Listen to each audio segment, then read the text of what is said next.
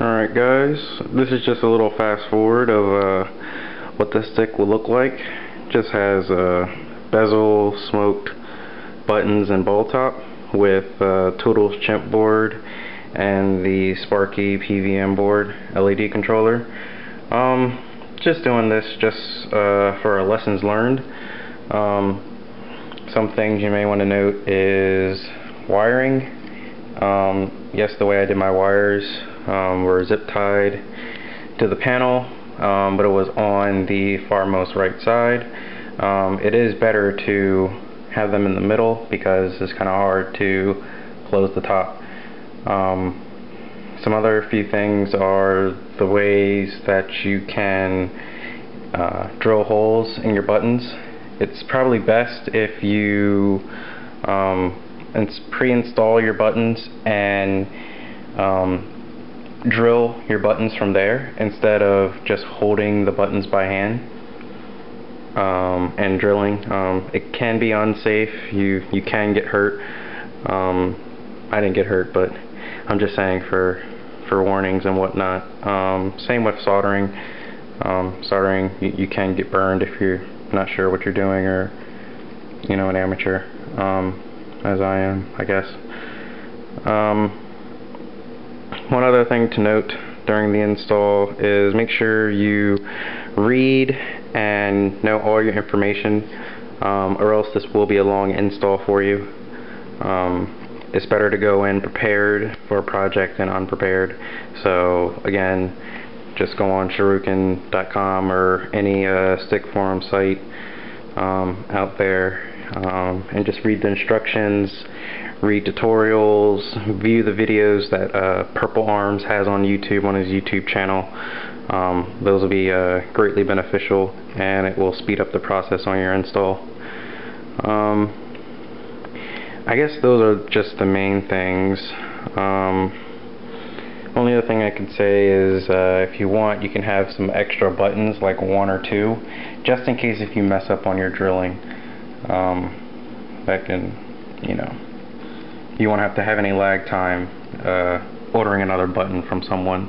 So just a heads up on some things that you know I could have did better on this stick but the stick was just for my personal use and yeah, just a guinea pig. So I'm pretty sure I'm gonna yank some of this stuff back out and change the stick again since this stick has already gone through two transformations so um, thanks again for watching and hope you like what you see. Again just this video will be a overview a very you know brief overview. So if you want greater detail again just read the forums um, or uh, watch Purple Arms channel on YouTube and he has the in detail in-depth uh, install from beginning to end. So again. Hope you guys enjoy and happy modding.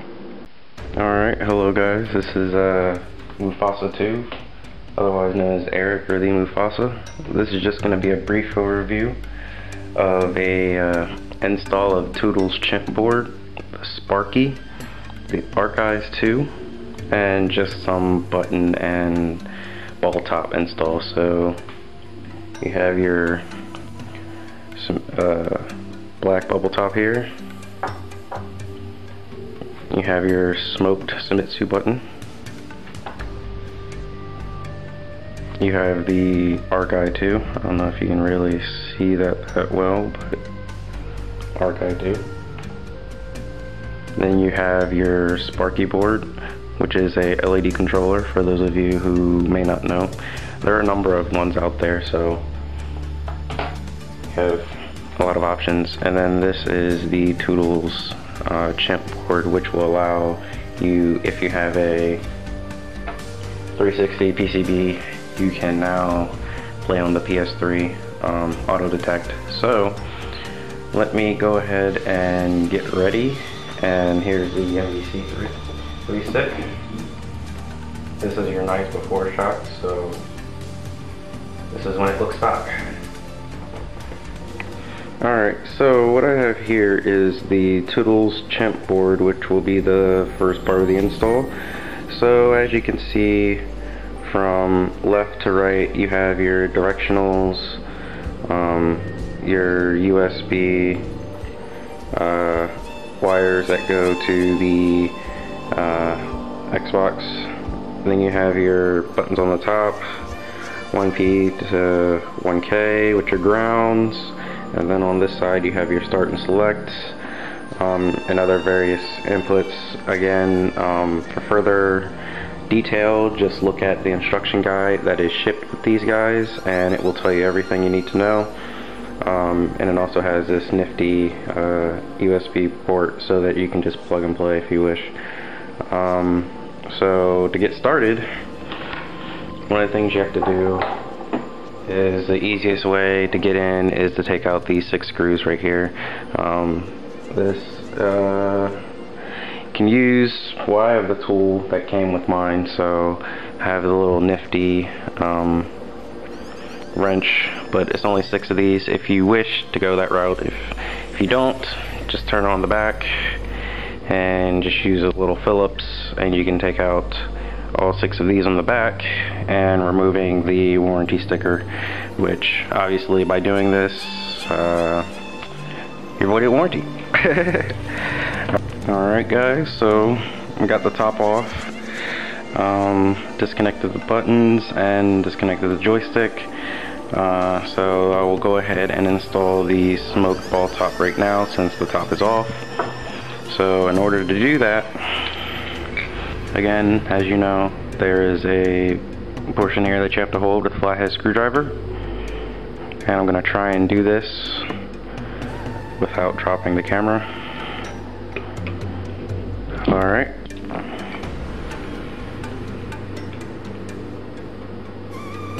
Pretty much hold in place. Once you break it, um, break the grip, it comes off pretty easily. And then it just comes off. As you see there. Then you install your new ball top.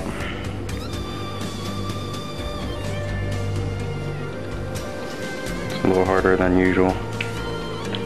There we go. Can't do it on an angle like this, so. And then once you get it on, again, place that flathead screwdriver right there.